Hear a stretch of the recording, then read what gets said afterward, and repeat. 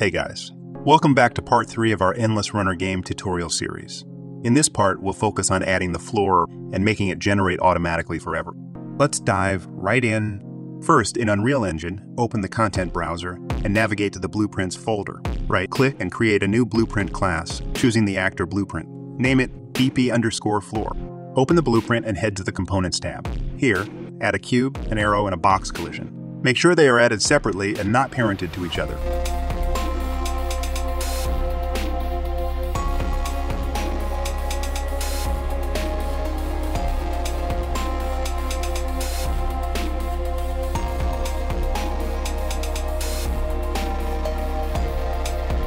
Select the cube and in the Details panel, go to the Transform section. Unlock the scale and set the values to 10, 10, 0.5 respectively. Next, select the arrow and set the x-axis location value to 500. Then select the box collision and set the scale to 2, 15, 10 respectively.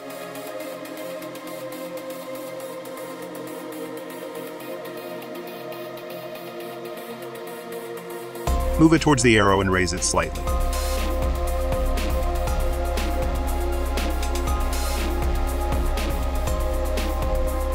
Scroll down in the box collision details until you see the collision section. Set the collision preset to custom. In the collision enabled dropdown, choose query only. Set the object type to world dynamic. In the collision response, check the ignore option, set the pawn to overlap.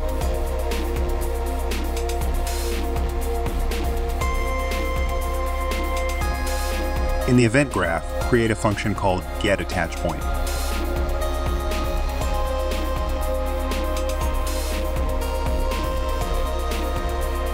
Drag the arrow from the Components tab and add a getWorldTransform node.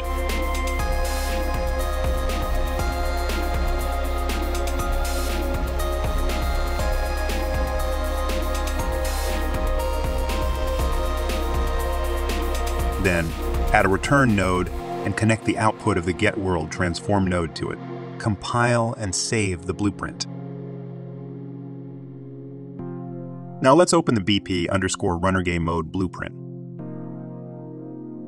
Create a new function called add floor.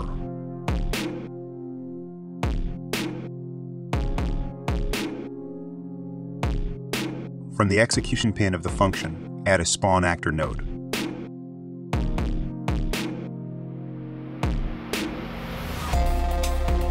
From the drop-down menu, select BP underscore floor. For the spawn transform, create a new variable called floor attach point.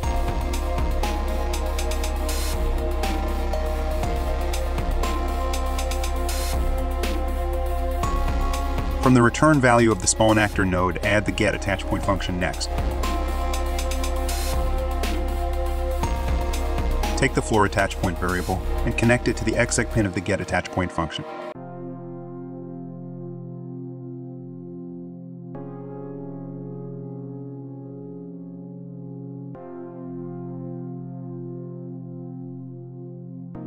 Now create another variable called floor tiles. Change its type to BP underscore floor object reference and set it as an array.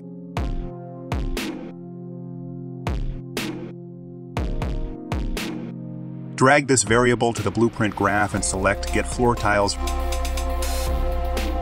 From the menu from the Array pin, add an Add Array node and connect the execution pins. Finally, link the spawn actor's return value to the Add Array node. To organize the nodes, you can double-click on the node to add a reroute node.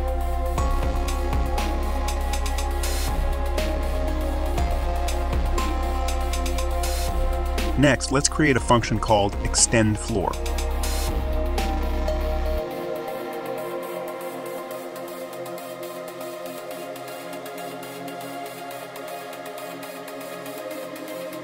Open the event graph, and from event begin play add a for loop node.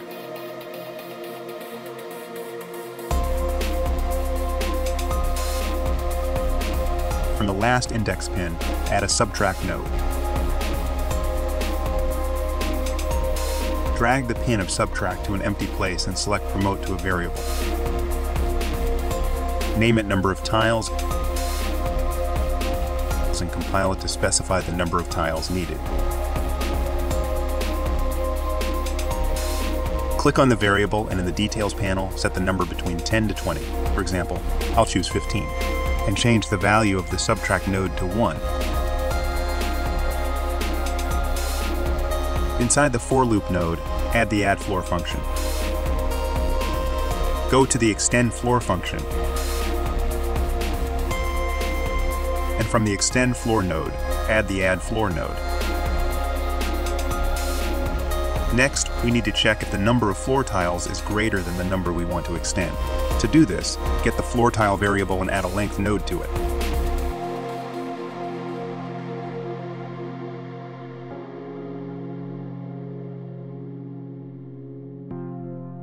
Then get the number of tiles variable and add an addition node, setting the value to 1. Now add a greater than node and connect the nodes. Add a branch node.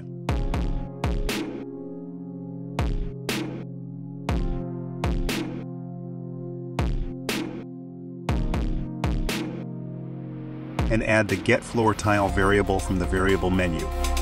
Add a get array node. And from it, add a destroy actor node. Connect the execution pins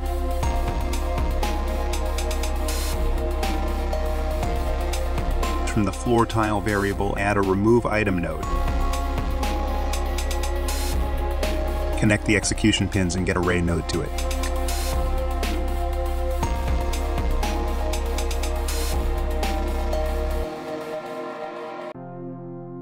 Compile and save the blueprint. Next, open the BP underscore floor blueprint. Inside the blueprint, select the box collision component from the Components tab. In the Details tab, scroll down until you find the Events section. From the Events section, add an on-component begin overlap event. Now go to the event graph of the BP underscore floor blueprint. From the other actor pin of the on-component begin overlap event, add a cast to BP underscore runner character node. Then, get the game mode by adding a get game mode node and cast it to the BP underscore runner game mode. Once you have cast to the runner game mode, add an extend floor node inside the event graph compile and save it.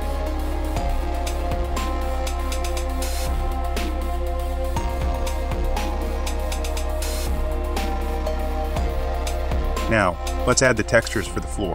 Download the textures for the floor from the link in the description.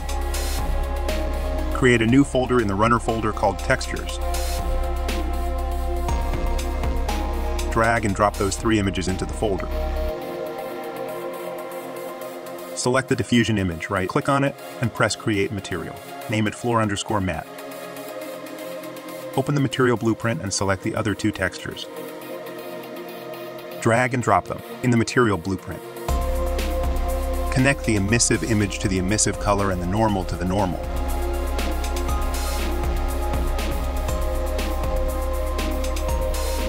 Save the material blueprint.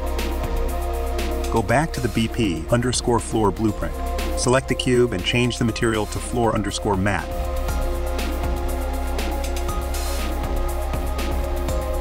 Rotate the floor to 90 degrees on the Z-axis. Compile and save the blueprint. Now, open the level and delete the default floor. Press Ctrl plus space to open the content browser in the level. Navigate to the Blueprints folder and drag the BP underscore floor blueprint into the level.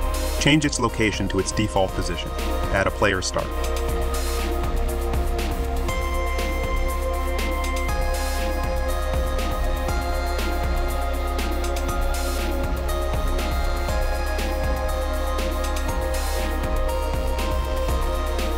Press play, and you'll see that the floor generates as we move. You can adjust the number of floors to be spawned at the start by changing the value in the number of tiles variable in the game mode.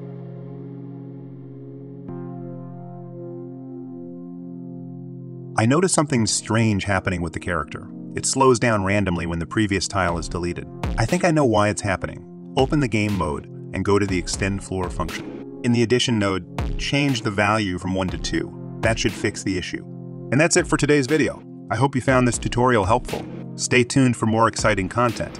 If you enjoyed the video, don't forget to give it a thumbs up and subscribe to my channel for more amazing tutorials.